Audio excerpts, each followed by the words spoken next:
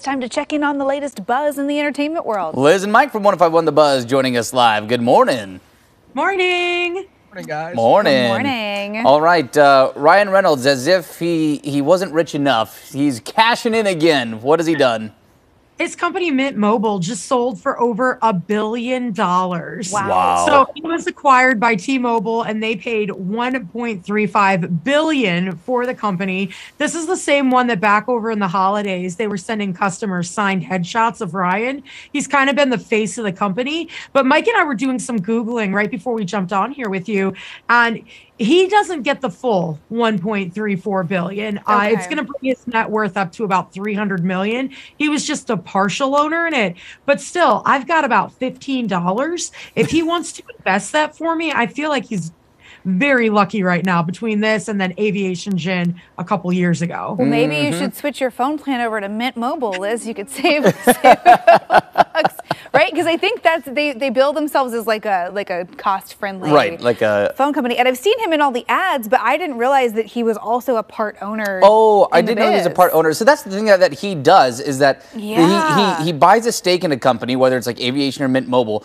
but he's his own brand. So he gets to Right. bring that to the table. The company builds off that, becomes successful because he's Ryan Reynolds, and then he gets to just cash out and like just make, make his money and walk away, which is phenomenal. Yeah. yeah. That's Live exactly dream. what he does. And he keeps doing it over and over and over again. And it is incredibly hard not to root for Ryan Reynolds. He's did it with that soccer team. They made a Netflix Oh. documentary about or something. Yeah, like Wrexham. Uh-huh. Aviation, Gin, Mint Mobile. Whoever his investment team is, is incredibly smart. And I need to be a part of it because whatever I'm doing is just not working. I, I think a lot of it is just him because he's his brand. He can just walk into a room and just be like, I'm Ryan Reynolds. I want some of this. Have you ever heard the story about how he got signed on to aviation? He he had a he had a drink made with it, right? Yep. Thought it was so good. And 10 minutes later, he uh, had a partial buy in it. It's like he just, it, it- it's incredible. He had a Negroni, had some of it, and, and decided, like, oh, I really want to, I'm interested in this gin. This Looked it up. great. It's aviation from Portland. Wow. And he made some phone calls and he was involved. So what what That's what the Travis story is now. yeah. Well, so what Travis is saying here is we need to invent something that Ryan Reynolds loves so much. He comes in. And, and Papa Ryan just funds our Script for. Deadpool 4. Yeah, We're putting it okay. together. All right. Hey, he listens to 105 One the Buzz in the morning. Liz and Mike, like that would be enough for me just once. just one Yeah. time. Cameo. All of it. I love Oh, it. man. We calling on Ryan Reynolds. We need you to be an angel investor. We don't know in what. We'll figure that out. We're gonna figure that out. But just give us a call. Man, if somebody's going to win, though, he's a fun one to watch win. He's a good one. Yeah. Well, hey, uh, now to another equally likable celeb. I, I love her, Drew Barrymore. You know, she's she's killing the talk show game now. She's doing big things on daytime, and she's got a new hosting gig. Yeah, she's hosting the 2023 MTV TV and Movie Awards. Uh, I did not know that these were even still happening, but it's going down in just a couple months. And she is very qualified because she's received three popcorns herself. Nice. And I remember back in the day as a millennial, like when they did the MTV Movie Awards or the VMAs or whatever, it was like an event. You watched it, they replayed it 30,000 times, and it played on all the channels. And I feel like the last few years, there hasn't been that big of a pop. Yeah. So maybe Drew Barrymore could bring some excitement to it, bring out all her famous friends, like kind of push on them to be like, oh, we need you in the audience. No Mm. seat fillers. I'm, I'm Please. trying to think. Do you think it's?